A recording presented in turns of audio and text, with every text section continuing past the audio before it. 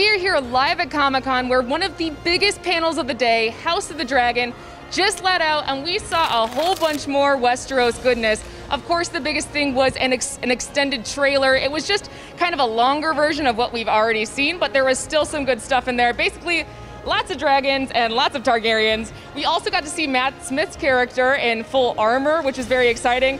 Also, it's kind of weird to see him with white hair still, but we'll get used to it. Uh, unfortunately, that trailer won't be online today. They're saving it for Shark Week. Uh, which, you know, sharks, dragons, I guess there's some synergy there. Uh, speaking of dragons, this show will have 17 of them, and I cannot wait to see those dragons fully realized on the show.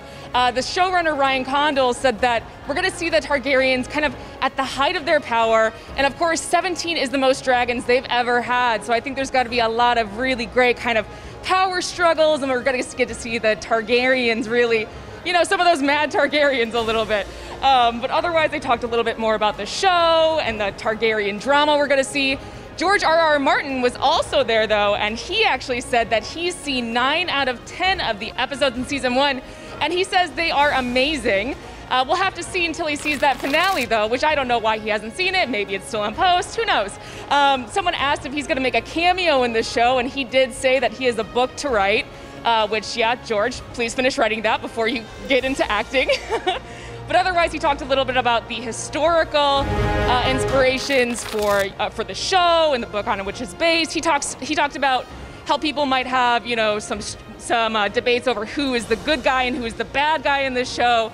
And I think Game of Thrones is really good at doing that as well. So I'm really excited to see that. Another big topic uh, at the panel was kind of the role of women in this show. And uh, George R. R. Martin answered a question about the treatment of women in Westeros, which of course has been a big point of contention as Game of Thrones has gone on. There's a lot of violence, of course. Um, and he answered that basically, since the show is kind of inspired by history, of course, the women are going to have some unique struggles. Um, so that's going to be a big thing we're looking out for in this show, of course.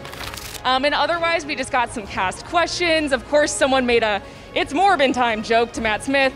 You can't get away from it. It's Comic Con. It's the audience. And that's everything we saw at the House of the Dragon panel. But there's a whole bunch more coming out from Comic Con, so stay tuned right here on IGN.